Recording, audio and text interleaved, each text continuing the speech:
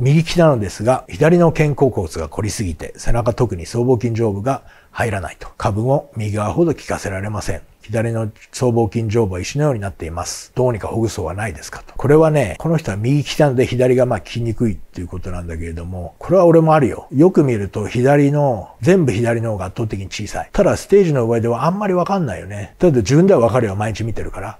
で、これはまあ左の手首も手術してるし、まあ肩も手術してるので、まあそれの影響もあると思うんだけれども、まあ人間というのはもともと左右セメトリーにはならないので、普通に生きてると、右利きの人はとにかく右の方が感覚は神経伝達発達してるし、右の方が強いっていうのは、それは普通なんだ、なので、あんまり気にしない。気にするのもキリがないから。だからまあ右の方が凝ってる。俺もあるよ、これ。左の方が凝ってるとか、まあ絶対あって、例えば下背部、脊柱起立筋の下の方とかは左の方が全然盛り上がってる。これは右足で立ってるからなのかな。理由はいろいろあると思うんだけれども、